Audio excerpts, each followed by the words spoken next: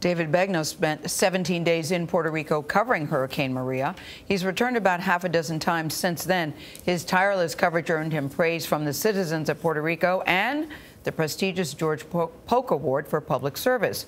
David Begnaud is now in Wrightsville Beach, North Carolina, right now covering Hurricane Florence. He's had some experience at this. David, you've learned some new information, I'm told, about supplies that were sent to Puerto Rico after the hurricane. What can you tell us about that?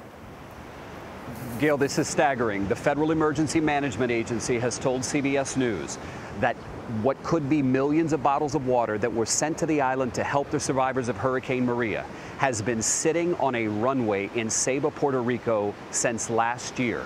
The pictures are unbelievable to look at. They were taken with a man who works for the state police agency there who told me, David, I'm angry that they're still sitting there and have been since last October when he first saw them. Now, here, this is important. FEMA says they gave the bottles of water to the government of Puerto Rico. The question is, what happened then?